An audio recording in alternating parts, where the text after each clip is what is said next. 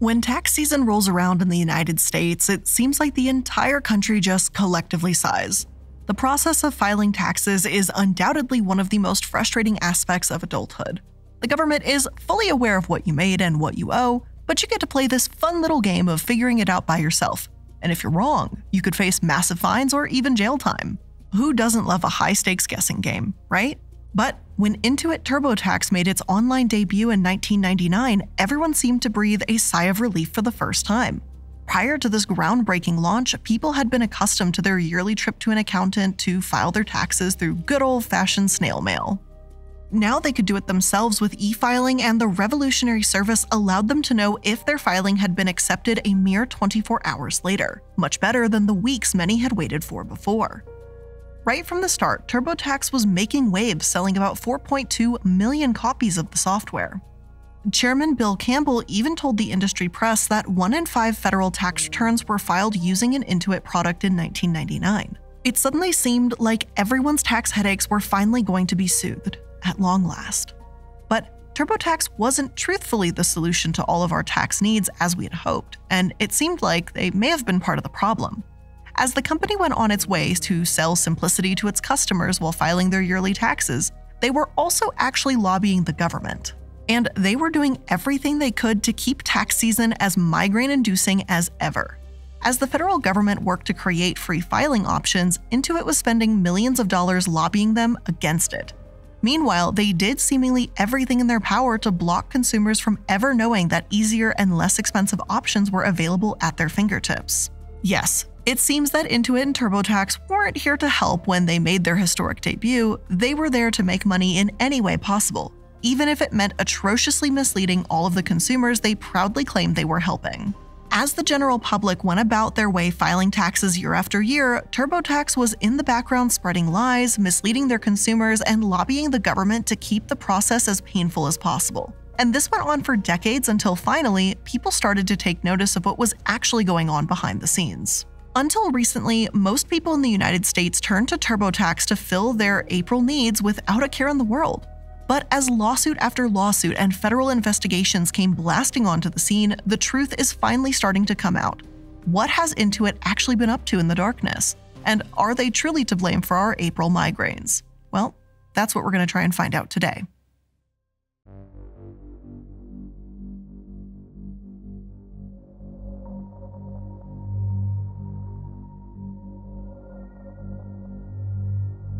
Hello, and welcome to the Corporate Casket. I'm the iilluminaughtii, and today we're going to be talking about the company and tax filing software that changed the way Americans file their taxes forever Intuit TurboTax.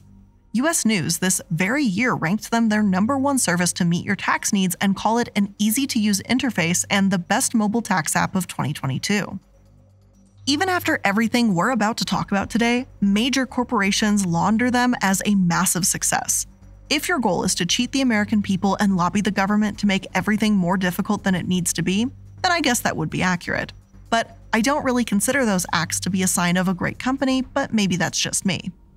In October 2019, the fall of TurboTax's perfect image began with a lengthy investigation from ProPublica entitled Inside TurboTax's 20 year fight to stop Americans from filing their taxes for free. So, yeah, that's definitely a promising title.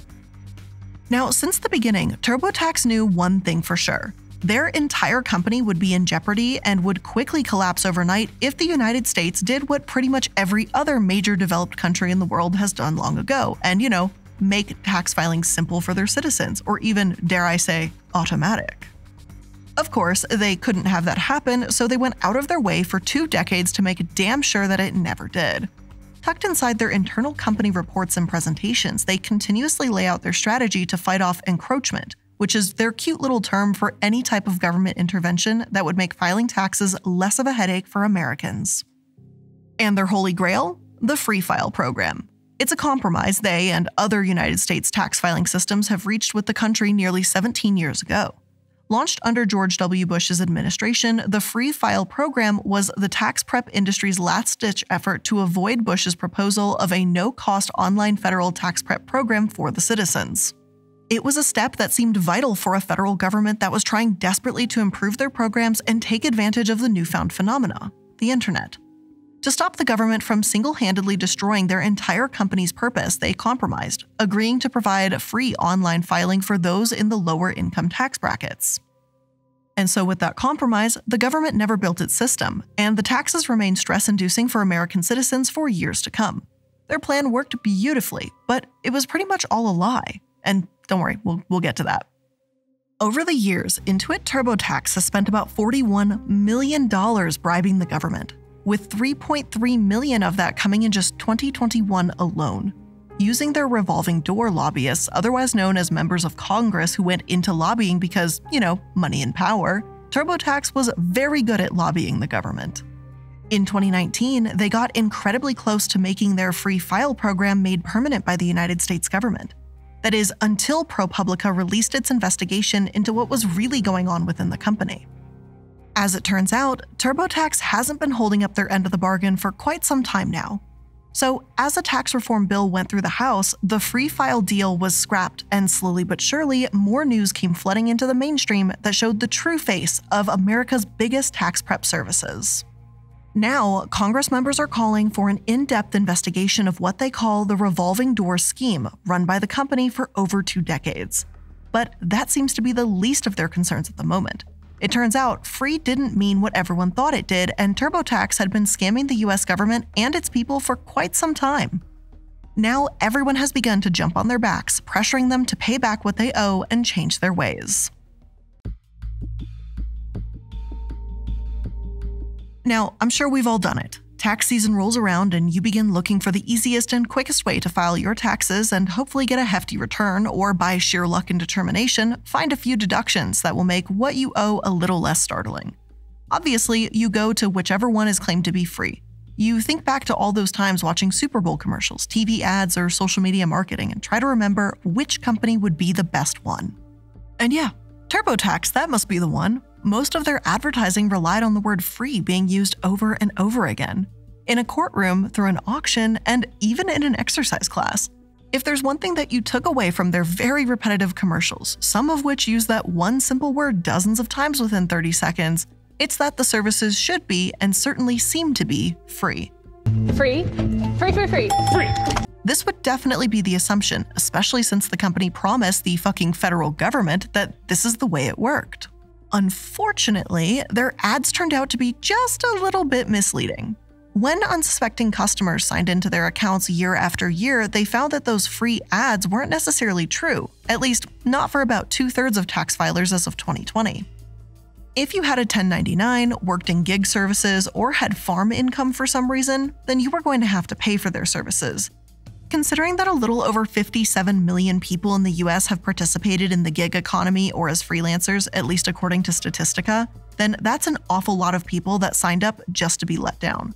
But you wouldn't know any of that until it was time to file. And as the FTC puts it, this was a classic case of bait and switch. Of course, TurboTax knew what was happening, at least according to their internal memos. You know, those little pesky, pesky little things, the things that always seem to come back out and bite you. One of these was actually a PowerPoint presentation that showed that since the website states free, free, free, customers were obviously assuming their filings to be free and getting upset when they were forcibly upgraded after agents suggested them for customers when they didn't need it. So, yeah, people tend to get upset when you sell them a service they don't need or lie to them in your advertisements. That generally doesn't go over great. Also, the list of illegal things being clearly listed on a PowerPoint presentation in pretty little bullet points just sends me. Like, I don't know why. Just like, here we go, and here's the evidence that we broke the law. Like, you've got to love it, and here it is in PowerPoint. Like, it, it's just great. It's it's fucked up. It's wrong, but it's great.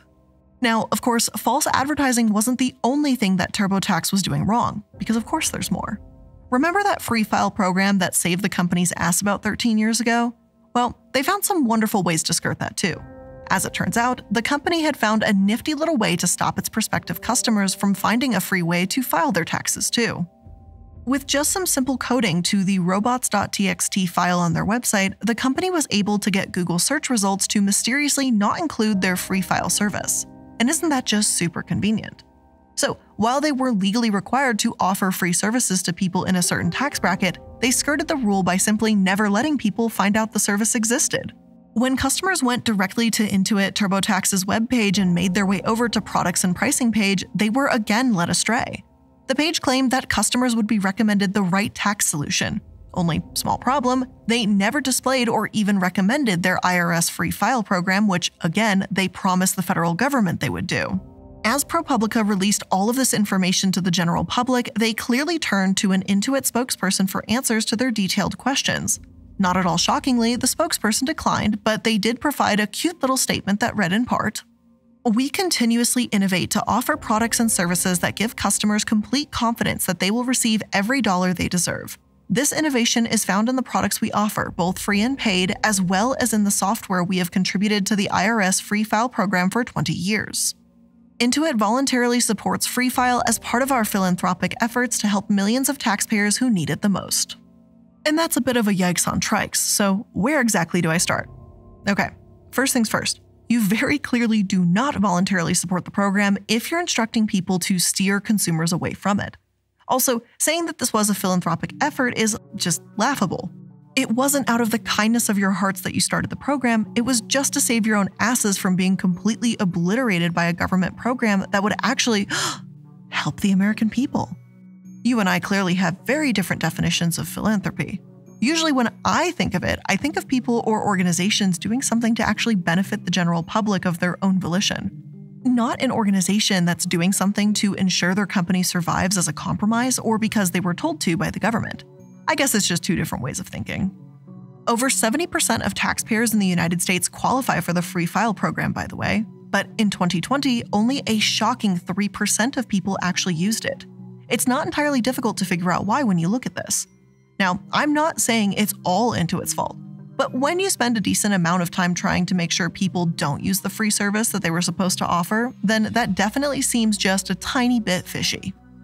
The statement gets even funnier when they say that their company proudly and transparently advocates for the interest of the taxpayer. Considering that's demonstrably untrue, it's a little bit troubling to see it in a statement. But hey, PR is PR and they have to spin the narrative to make themselves look good. I get it, that's their job. But unfortunately for them, it didn't work the way they so clearly hoped it would. An abundance of news sources picked up the story from ProPublica and spread it like wildfire. Soon, it wasn't just the news talking about it, but it was governing bodies talking too. And suddenly, lawsuits came flooding in from every direction, and it definitely began to look like TurboTax might just drown.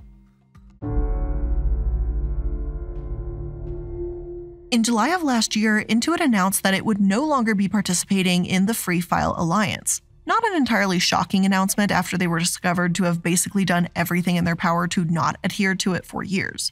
Following the ProPublica article's release, the IRS presented a new tax filing system that adamantly prevented companies from doing, well, basically everything TurboTax had been accused of doing. No more messing with Google searches, and the IRS would now be allowed to create its own filing system. You know, the one that Intuit prevented from happening about 13 years ago. Intuit even publicly supported the new changes. This was likely because they knew something bad was coming, and it certainly was. Just a short while later, the FTC and all 50 states came sweeping in to punish the company for what they had done. After a thorough investigation by the attorneys general, the United States government discovered that everything ProPublica had released to the public was in fact true. The unfair advertising practices, Google search manipulation, and selling products to everyone regardless of if they needed it, all of that was true. In May of this year, Intuit and TurboTax finally reached an agreement with all 50 states plus the District of Columbia. Of course, as with most settlements, they admitted no wrongdoing and said the settlement would come with minimal impact to its business. This is most certainly true because these lawsuits came far too late. Honestly, Intuit is probably in the category of too big to fail, and a tiny settlement just makes them change a couple things. It's not really going to make big impacts, though. As the settlement was announced, Kerry McLean, Intuit's executive vice president and general counsel, released the following statement. Intuit is clear and fair with its customers, including with the nearly 100 million Americans who filed their taxes free of charge with our products over the last eight years, more than all other tax prep software companies combined. Forgive me for speculating here, but maybe it wasn't that they were clear and fair that brought in so many customers. Maybe it was the constant ads that said everything was free when it really wasn't. Of course, that's just me speculating and throwing in my silly little opinion here. But all in all, the settlement came with an abundance of requirements for the companies, and now they would finally have to change their ways. If Intuit and TurboTax want to advertise their product as being free, they have to clearly disclose that there may be some limitations to their free products and that not all consumers will qualify to use it. Additionally, they have to actually provide a link to the free products, you know, instead of hiding it from the public. Their handy little strategy of stifling Google searches is also dead and gone. Now you have to be able to find it. Then there's the money issue. Clearly, their practices cost millions of Americans their hard earned cash, so there's certainly some debt to be paid. And as it turns out, that debt's quite a large number. Intuit agreed to pay $141 million in the settlement. After steering approximately 4.4 million customers in the wrong direction, some of their money is finally being paid back. So when all is said and done, this type of settlement amounts to $90 a piece per person. For the states, even though the company didn't admit fault, this settlement was upheld as a massive victory. Letitia James, the Attorney General of New York who led the investigation, released a statement claiming victory, saying, For years, Intuit misled the most vulnerable among us to make a profit. Today, every state in the nation is holding Intuit accountable for scamming millions of taxpayers, and we're putting millions of dollars back into the pockets of impact Americans. By all accounts, this settlement seemed like a win win. Even Intuit seemed to feel like it was the best option for them, saying that they had reaffirmed its commitment to providing Americans with free tax preparation and filing. But it doesn't mean that the legal trouble for the company is all said and done. They still have an FTC lawsuit to face, even after their executive vice president said that the FTC litigations were extremely unnecessary after the settlement with the states. In March of this year, the FTC announced that they would be taking action against Intuit and TurboTax and issuing an administrative complaint against the company. For them, the deceptive and bogus advertisements had gone too far and had reached the threshold of being illegally deceptive. Samuel Levine, the director of the Bureau of Consumer Protection, wrote in the complaint TurboTax is bombarding consumers with ads for free tax filing services and then hitting them with charges when it's time to file. We are asking a court to immediately halt this bait and switch and to protect taxpayers at the peak of filing season. Intuit decided to actually comment back, and they admitted everything. I'm just I'm just fucking with you. That's not what happened at all. Did I fool you there for a second? I tried to sound kind of serious, but no. In their actual response, they called the FTC's arguments simply not credible and say that they weren't steering people away from free services. In fact, they claim they have steered more of the American people to file for free than they ever had before. They put in all of the effort to make sure that American citizens knew about the Free File program. Now, of course, when you take a look at their internal documents, those seem to suggest the complete opposite, but this is, of course, what they claimed, and it seemed like it might have worked. One month later, a US judge decided not to block the company from running their ads because of the risk of future harm. Judge Charles Breyer said the FTC attorneys had been naive and simply outlawyered by the Intuit team after they purposefully drew out the lawsuit to ensure that the hearing took place after tax season. So, yeah, we won't block them from running deceptive ads because the damage has already been done. How fucking fabulous. Obviously, Intuit seemed thrilled by this decision, but it wasn't over. Following the original litigation, the FTC decided to put a stay on the lawsuit to grapple with whether continuing the lawsuit would be in the best interest of the American public. And as it turned out, they decided it was, and in August they voted 4 to 1 to continue with litigation. I haven't been able to find a recent update on the topic, but I'm sure there will be more. Now, meanwhile, there's something else going on that certainly raised a few eyebrows, and that's Intuit and TurboTax's data practices and the fact that they're definitely becoming a monopoly. And before we take a look at that, I'm just going to take a moment to thank today's sponsors. It's the most festive time of year, and HelloFresh is here to help make the most of every moment. From holiday hosting to dinners during busy weeknights, you can count on HelloFresh to deliver fresh ingredients and seasonal recipes. HelloFresh's festive eats make mealtime a snap. Choose from holiday inspired dinner recipes, seasonal add ons, or even a three course offering, all designed to make holiday meals extra yummy and easier than ever. So it doesn't matter if you're hosting a holiday party or just stocking up on snacks, you'll find everything you need at the HelloFresh Market. From quick breakfast to charcuterie boards and desserts, it's never been easier to prep for a party or fill your pantry. And might I add, since it is full blown soup season, to try their coconut curry cream soup. It is absolutely amazing. I know they have a variation where I believe it's vegetarian, and they have an option where I think you can add turkey into it. And I've done the veggie version, and it's so delicious. So if you're ready to skip those trips to the grocery store and get cooking with HelloFresh, make sure you use our code, which is hellofresh.com slash casket18, code casket18 for 18 free meals plus free shipping. Again, that's HelloFresh.com slash casket18. Use code casket18 for 18 free meals plus free shipping.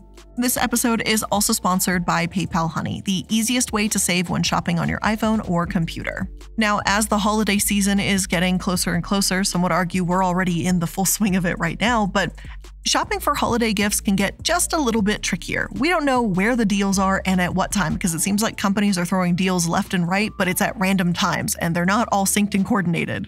So it makes it a little bit tricky when you're doing your holiday shopping to maximize every dollar that you have.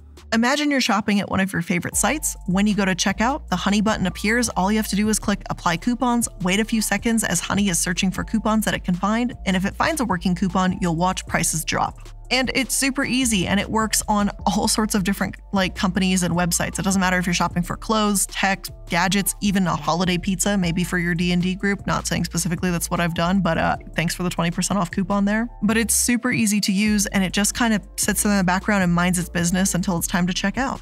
So if you don't already have Honey, you could be straight up missing out. And by getting it, you'll be doing yourself a solid and supporting the show. And I'd never recommend something that I don't use. So get PayPal Honey for free at joinhoney.com slash casket. Again, that's joinhoney.com slash casket.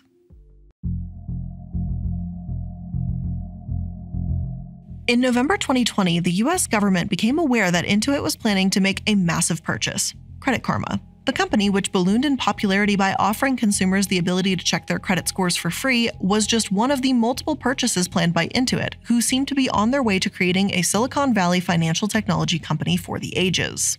For the US government, this wasn't exactly the best news, and they swiftly brought a civil antitrust action to the forefront in an attempt to stop the deal from going through. In the complaint, the government alleges that the purchase could result in a monopoly for the tax preparation sector. Since both companies participate in tax filing for the American people, the government was concerned that this new merger could result in a significant price increase, something that obviously the US government has been trying to avoid in regards to taxes for quite some time. Capitalism relies on competition, but companies aren't usually too fond of other companies participating in the same selling practices as them, so they just buy them. The federal government stepping in during these types of purchases isn't anything new. We saw it with companies like Comcast, but they seem to very rarely win. And this time was unfortunately no different. By December, Intuit had announced that they had bought Credit Karma through a combination of cash and stock for $7.1 billion. And that is one hell of an acquisition, and of course, they were thrilled. This new merger would allow them to help the 62% of consumers who were living paycheck to paycheck, the 75% of Americans who consistently had concerns about how they were going to pay their bills every month, and of course, the 33% of people who lost their jobs during the pandemic.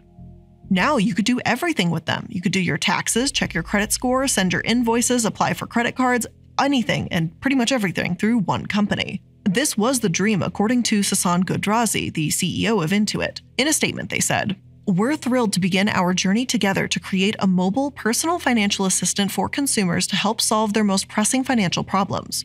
Together, we will help consumers achieve financial success with confidence by helping them find the right financial products, put more money in their pockets, and provide financial expertise and advice.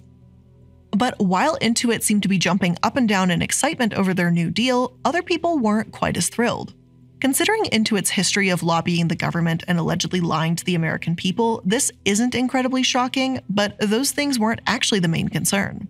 The key issue now was that Intuit had access to an astounding assortment of customer data, and for any company, that usually raises a few red flags.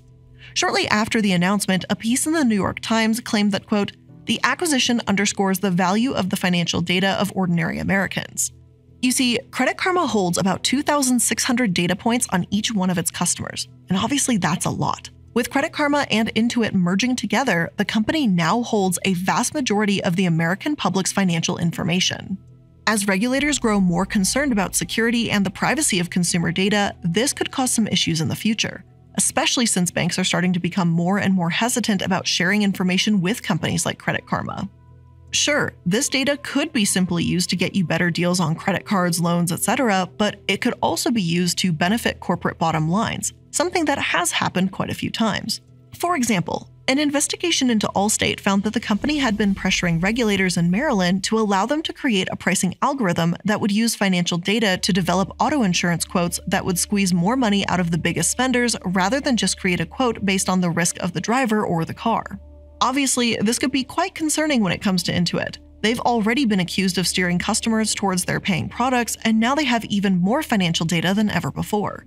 It's entirely possible they could use that to influence their marketing in a brand new way. Of course, for now, this is all just speculation, but it's certainly something to think about.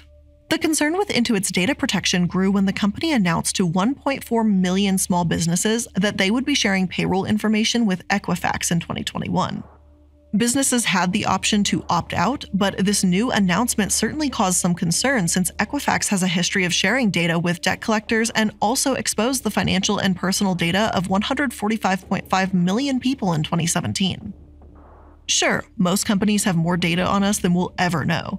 And as Kristen Johnson, professor at Tulane Law School, puts it, there's no business person on the planet who doesn't want to get access to consumer financial transaction details. That is a pot of gold. But that doesn't make it any less concerning, especially when it's a company with a relatively shady history gathering it. However, what's done is done, and the deal is complete. So for now, the lawsuits, the lobbying, and the mergers haven't seemed to slow Intuit down in the slightest. As they continue to grow, they seem to gain more and more customers by the second. Hopefully, they've learned their lesson and will start being honest about what's really happening with their tax filings and maybe have some transparency about what they're doing behind closed doors with the US government. But that just seems like a lot to hope for, and it may just be wishful thinking.